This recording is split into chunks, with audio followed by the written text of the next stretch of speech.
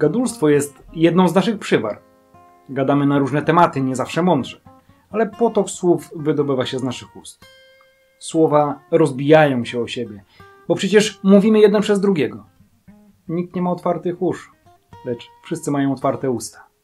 Bez poszanowania, bez zwracania uwagi, że mimo wszystko jest obok ktoś, kto chce przekazać nam ważne treści. I tak jak zachowujemy się względem siebie, tak samo postępujemy względem Boga. Nawijamy opisując swoje życie.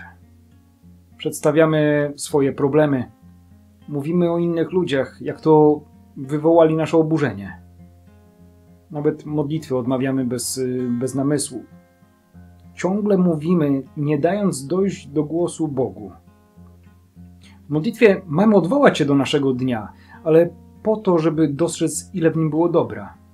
Ile spraw jeszcze jest dalekich od ideału, ile sytuacji wymaga jeszcze naszej pracy. Modlimy się, żeby usłyszeć samych siebie i odkryć, kim ja jestem przed Bogiem. Bo odkrycie prawdy o sobie zmieni nasze postrzeganie siebie i innych. Dlatego Jezus daje nam modlitwę Ojcze Nasz, z którą, jak sądzę, nie każdy sobie radzi.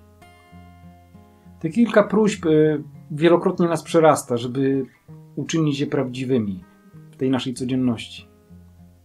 Ojcze nasz, a więc mój i mojego przeciwnika, bo Bóg kocha nas jednakowo i błogosławi nam. A od tego, kogo kocha, od tego wymaga więcej.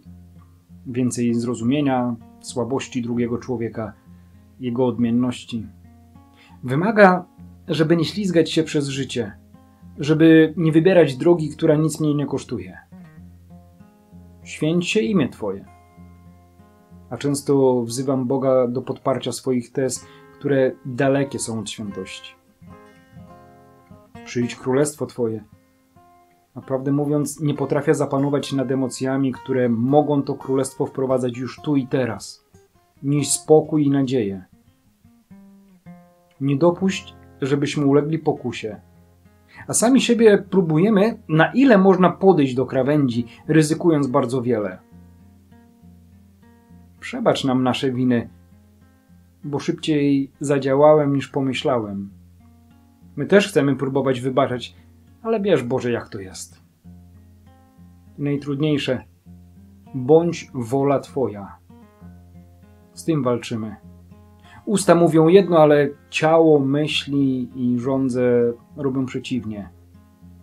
Kiwamy Bogu palcem, że znów się pomylił, że dał lub nie dał to, co chcieliśmy.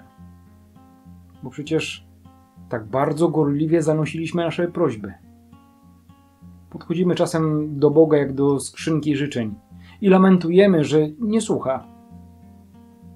Dziwni jako ludzie jesteśmy. Trąbimy o wierze, a nie wierzymy. Wierzymy, ale po swojemu, żeby było wygodnie. Mówimy, lecz nie słuchamy. Żądamy, lecz nie wypełniamy poleceń.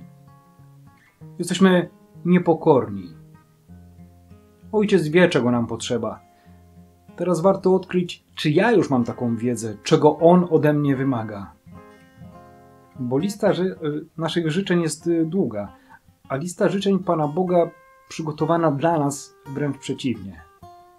Zawiera jedną prośbę. Uwierz tylko.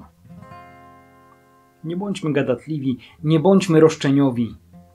Nie bądźmy głusi na wołanie Boga, który wzywa nas do wierności i zaufania.